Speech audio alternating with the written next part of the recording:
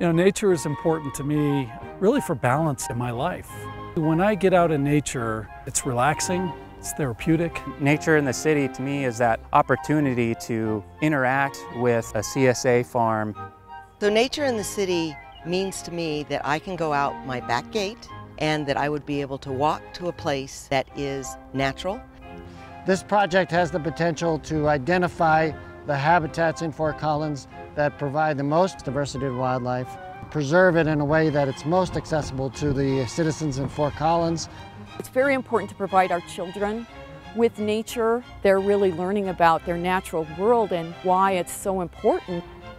When Fort Collins grows to close to a quarter million people, if we haven't protected these assets, these attributes of our community, not only protected but enhanced, I think we've not done our job.